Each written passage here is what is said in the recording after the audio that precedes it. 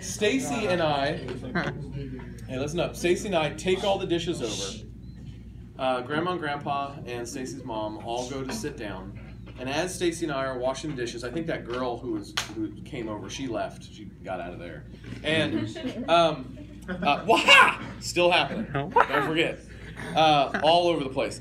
Um, Stacy and I are washing the dishes, and uh, Grandma demands her tea. She has to have her tea. And so they put on this tea kettle, and the tea kettle's whistling, and it's getting louder, and finally it gets taken off, and Grandma pulls out of her luggage. She has a uh, literally a like World War One or two thermos, and the thing is like a giant green thermos that I guess she takes with her, and it's clearly made out of lead. It weighs like ten pounds, and lead lead poisoning. That's probably the reason why most of the story I'm set telling.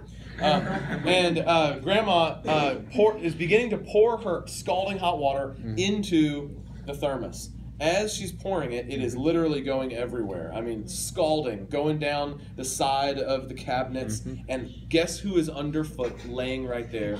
Little God. Mr. Frodo, the cat God no. pouring scalding hot water all over his back.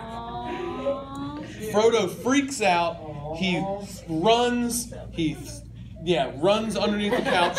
Stacy dives to get him. Uh, Stacy's freaking out. Stacy runs, and I go and follow her into the bathroom where she puts the cat in the tub and tries to put cold water on him. Yeah. There's an, easily a giant circle of burn, like no hair. It's it's gone already. Um, and even I'm compassionate, and I can say I, I was compassionate here. Um, meanwhile, here we we hear we hear from the kitchen Stacy's grandmother uh, who says.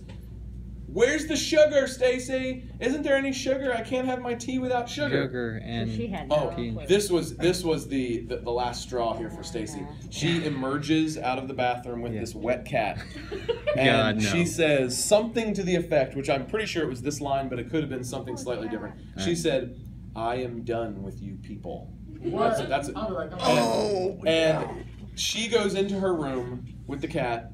I am left with the grandparents and, and mother-in-law, and I say, "Look, I was like, guys, don't you don't you understand like what's happened today? Like, I, you have to realize."